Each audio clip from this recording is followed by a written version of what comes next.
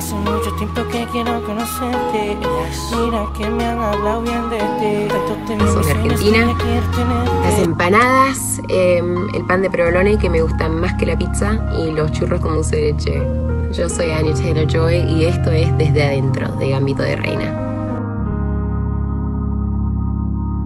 Antes de esta pandemia empezaba todos mis días con dándole un abrazo a cada persona en el set y cerraba el día igual, porque creo que por ese momento somos una familia y nos tenemos que cuidar y eso, no sé, crea una sensación de, amor en el set. Eh, vengo de muchos lugares diferentes, pero creo que mi calidad y mi actitud a la vida es de Argentina y eh, agradezco mucho esa parte de mi historia. Eh, me siento muy orgullosa de venir de Argentina. Me interesaba mucho trabajar con Scott Frank, em, sabía que era un director increíble. Y cuando primero conectamos, no había guion, pero sí estaba el libro y a mí me encanta leer. Y ese libro, bueno, me lo, me lo morfé en una hora, una hora y media o algo así. Em, y había algo en el personaje de Beth que, que yo podía ver en mí misma esa sensación de estar aislada, pero también tener este mundo fuera de lo común donde eh, tenías un talento. Sí, no sé, eh, me podía ver mucho en ese personaje. Con Beth aprendí, o estoy aprendiendo todavía, eh, a cuidarme mejor, a alimentarme bien, a asegurarme que duermo. porque sí, creo que los últimos seis años que, estoy trabajando como actriz siempre eran los personajes primeros y después yo. Y con Beth, para interpretarla bien, me tenía que cuidar. Las adicciones de Beth, bueno, es una temática muy compleja y para ella, y creo para muchos, eh, se manifiesta por razones muy diferentes. Y era importante para nosotros que, que mostrábamos eso, entonces en las series la ves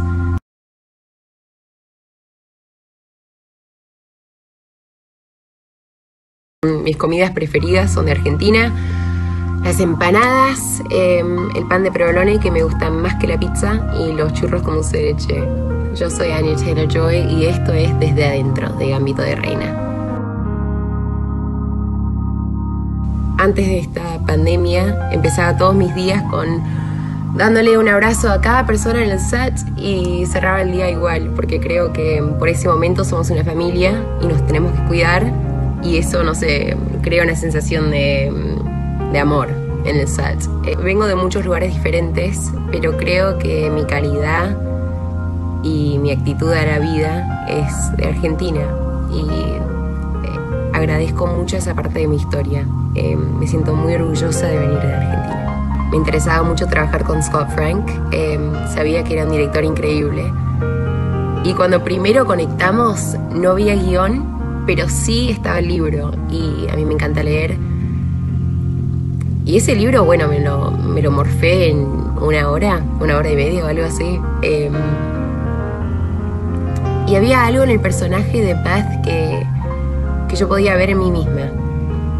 Esa sensación de estar aislada, pero también tener este mundo fuera de lo común donde em, tenías un talento, Sí, no sé, eh, me podía ver mucho en ese personaje. Con Beth aprendí, o estoy aprendiendo todavía, em, a cuidarme mejor, a alimentarme bien, a asegurarme que duermo. Em, porque sí, creo que los últimos seis años que, que estoy trabajando como actriz siempre eran los personajes primeros y después yo. Y con Beth para interpretarla bien me tenía que cuidar.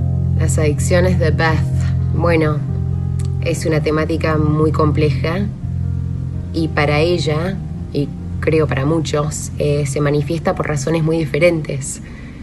Y era importante para nosotros que, que mostrábamos eso, entonces en las series la ves tomando porque se sienta aislada tomando las pastillas porque de repente siente demasiado y necesita una sensación de control. Em, algunas veces se está castigando. Em, creo que es importante que veas todas las razones diferentes por qué una persona usa, pero que aprecien una historia que toma su tiempo para desarrollarse.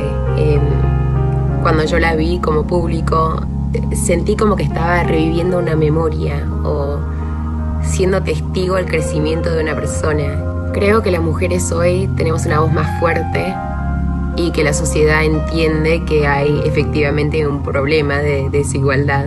Em, y antes no se tocaba tanto el tema. Pero, por supuesto, se va a tomar su tiempo de construir una sociedad que ha sido sexista por gran parte de su historia y tenemos que continuar a luchar.